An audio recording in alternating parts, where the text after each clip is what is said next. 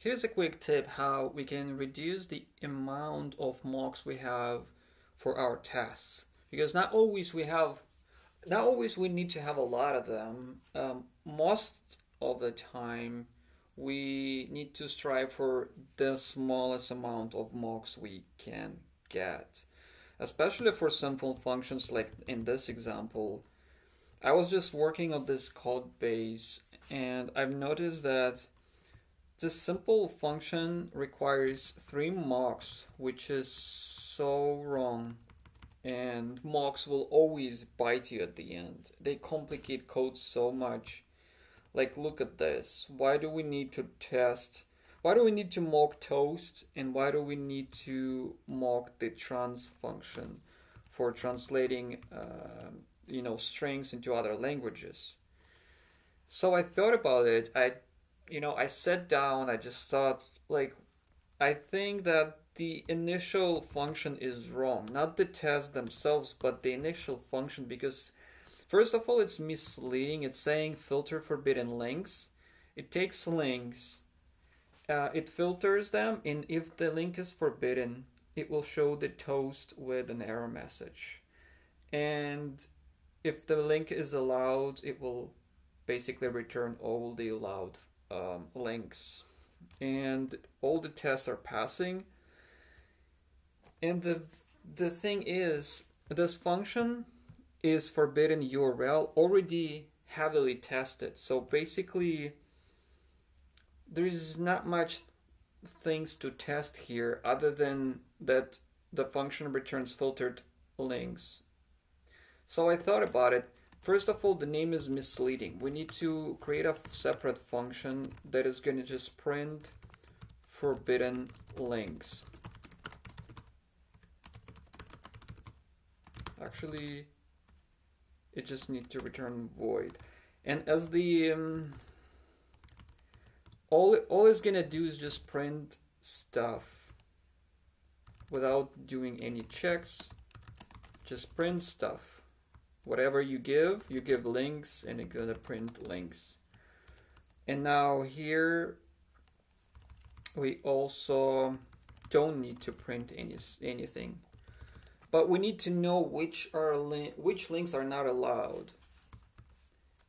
We can also do const um, forbidden, which is also a link. And let's uh, make them let. And now if the link is forbidden, we do forbidden push link. Otherwise, it's going to be allowed. Um, now we need to remove this to raw function. Don't really mind it. It's just a Vue.js function that removes proxy from the object. Basically returns object to its original shape, removing reactivity from the object. So we only need to do it for allowed.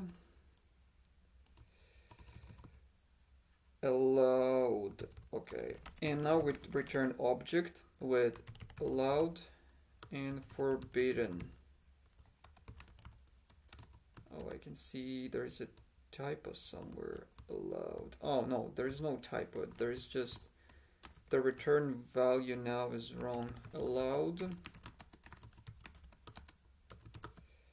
and forbidden. Also links. Okay. And now every time we, we use this function somewhere in our code base we take forbidden links and pass them to this new function which doesn't really need to be tested since TypeScript already tests that we are doing everything correct by statically checking that we pass links and I mean, you could test it, but you need to mock it for two functions basically. And with this function now, everything is simpler. Uh, now we only need to change tests. First of all, we don't we don't need these mocks now. We can remove two mocks. Okay, I removed the wrong thing. Let's let's do it this way. Now we only need to mock runtime, which is basically sets the runtime to Firefox, Chrome, or web. Okay. Now we go to filter. Let's test just this function. So we set it to only. Does not filter links in Chrome runtime. So it does not filter, so it has to return these four exact links. Result allowed. We remove these. And forbidden has to be zero. Good.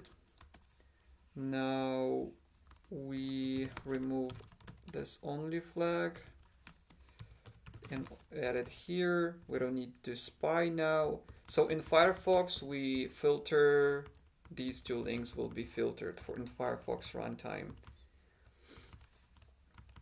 So we remove all of these complicated mocks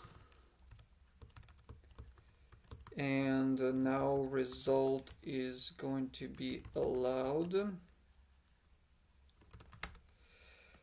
check if it passes yes and we can even make it nicer by also checking if forbidden links also two and the first one is going to be about config the second one is going to be Chrome extensions. Let's check. So you get the point. It's just much more simpler to test without stuff that prints stuff to to your DOM. That's pretty much everything I wanted to show.